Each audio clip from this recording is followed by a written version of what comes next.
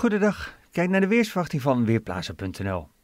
We hebben vandaag en de komende dagen, en misschien zelfs wel volgende week ook nog, te maken met een zeer krachtig hoge drukgebied boven Scandinavië. En dat hoge drukgebied dat zorgt voor een oostelijke aanvoer de komende dagen, beter gezegd uit het oosten tot noordoosten.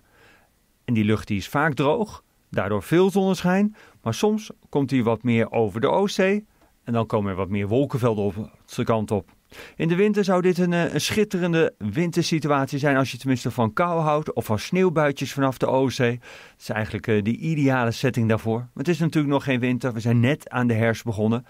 Maar de lucht die komt wel van echt koude regionen. Later in de week zelfs echt vanuit Siberië.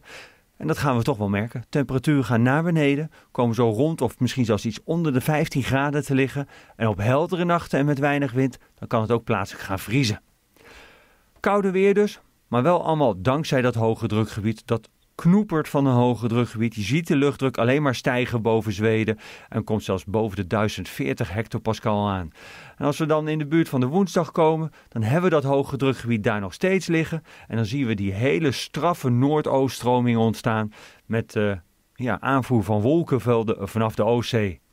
Dinsdag en woensdag nog te droge lucht, maar vanaf donderdag komen die wolkenvelden dan ook weer onze kant op. Regengebieden zijn ver weg. We zien wat eh, regen boven Centraal-Europa liggen. Dat levert ook wat sneeuw op in de Alpen. Ook daar begint het kouder te worden. En verder een regengebied op de oceaan. En dat komt niet eens dicht bij ons. Nou, die wolkenvelden waar ik het over heb van de Oostzee, die zitten daar nu ook, maar die komen nu nog niet echt onze kant op.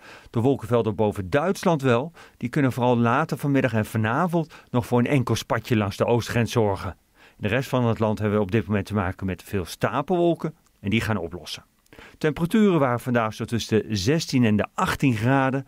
En dan komen we bij vanavond. Nou, dan gaat het kwik weer rap naar beneden. Halverwege de avond, zo rond een uur of acht, dan is het 12 eh, tot 14 graden. En zoals gezegd, vooral langs de oostgrens en misschien in het Waddengebied nog een heel lokaal buitje. Verder brede opklaringen.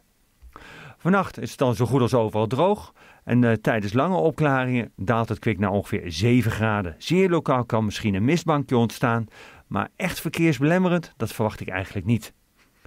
De wind neemt in het binnenland af. Aan zee blijft hij toch nog aardig doorstaan met windkracht 4 à 5. Daar dan ook wat hogere temperaturen.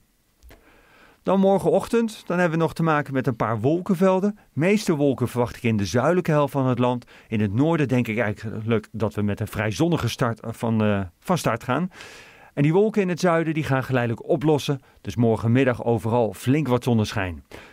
Straffe oostenwind, windkracht 3 tot 5. Op de Wadden zelfs af en toe windkracht 6. En uh, die zorgt voor de droge lucht, vandaar dat het zo zonnig wordt. Temperaturen wel wat lager dan vandaag, 16 à 17 graden.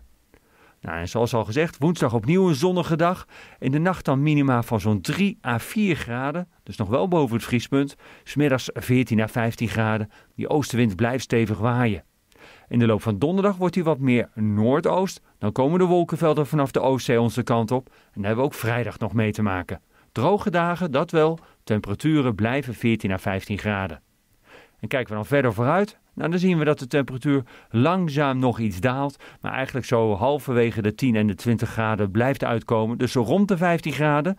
De nachten, die gaan toch duidelijk naar beneden en kruipen langzaam richting de 0 graden. Ik ben Michiel Severin van Weerplaza.nl